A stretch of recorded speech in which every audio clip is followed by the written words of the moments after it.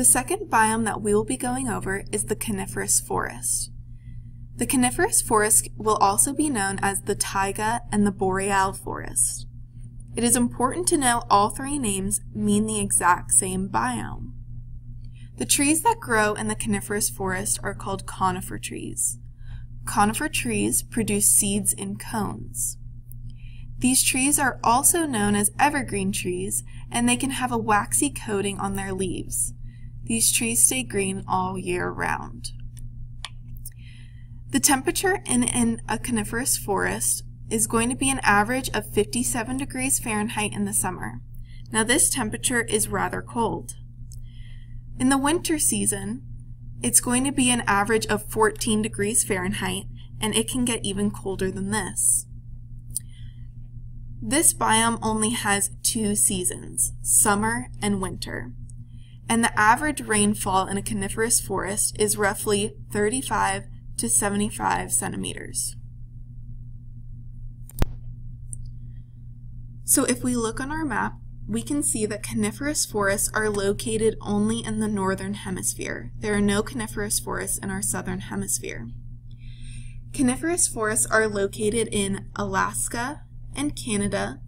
They can be found in the Maine area, as well as coming down into Washington and Oregon.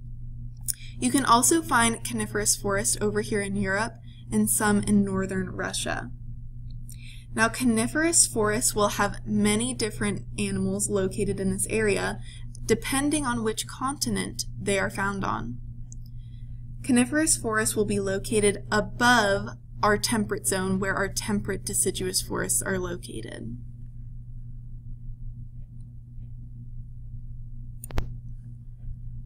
So now we are going to look at the different plants or flora that can be found in the coniferous forest. There will definitely be different types of evergreen trees, such as fir trees, spruce trees, and pine trees located in this biome. We can also see some low-lying shrubs, as well as moss, and very little grass in this biome. We will be discussing later about why there is so little grass in this biome. So now we will be talking about the different animals that can be found here, or the fauna. So when we're discussing the animals that can be found in the coniferous forest, it's actually going to be very similar to the animals found in the temperate deciduous forest. Although in the coniferous forest we will find much bigger mammals such as the moose and elk. We do have deer in this biome just as we had deer in the temperate deciduous forest.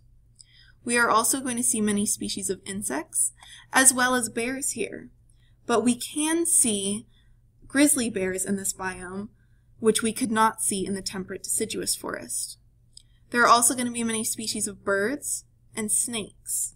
This snake might look familiar as we have talked about the scarlet king snake as well as the coral snake which practice mimicry.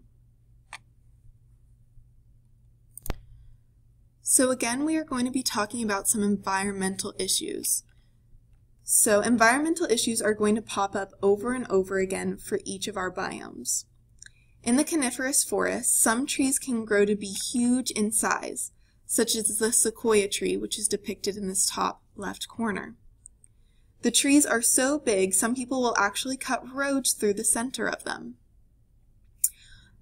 Looking down at this picture on the left bottom corner, we can see that a tree has fallen over. Sometimes when trees fall over, it is more work to remove a tree, so they will end up cutting a tunnel through instead. There are even some roads that are built by clearing a whole pathway through some of the trees. Down below here, we can see a few people surrounding a tree. Now this tree is not even an adult tree yet, and look how many people it takes to stretch all the way around. Just as before, deforestation is a huge issue in a coniferous forest. So just as you had done before for your temperate deciduous forest, we are now going to be filling out a Frayer model note. So again, the center circle is going to be where you title your biome. So again, this is going to be the taiga, it can also be called the boreal forest or the coniferous forest.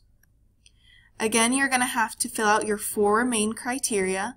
This will be your location or your proximity to the equator, your climate, your flora or plants, fauna or animals, and some interesting facts.